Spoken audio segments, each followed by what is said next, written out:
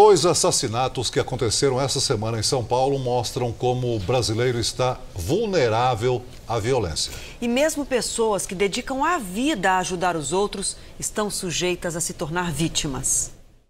Mesma idade, 55 anos, mesma profissão, professoras e o mesmo fim violento. Sueli Caprone parou o carro para pegar uma amiga. Elas iriam de São Bernardo do Campo para Minas Gerais doar os brinquedos que lotavam a caminhonete. Foi quando os ladrões apareceram. Segundo a polícia, Sueli se recusou a entregar a chave e foi baleada.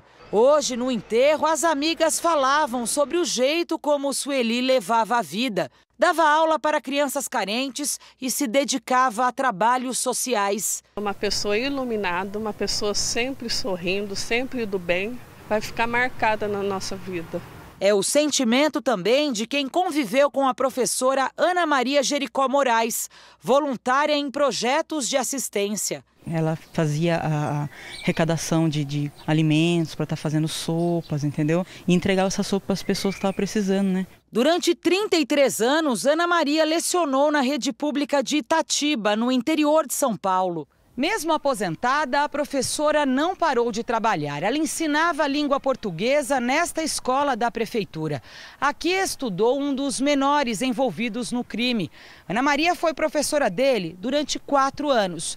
E ele disse à polícia que matou porque foi reconhecido por ela durante o assalto. Ana Maria foi jogada de cima de uma ponte. A queda provocou a morte. Câmeras de um posto de combustível mostram os assaltantes no carro de Ana Maria. Um deles compra cerveja e paga com o cartão da vítima. Seguindo essas pistas, os três assaltantes foram presos, um maior e dois menores. Entre eles, o ex-aluno que planejou o crime.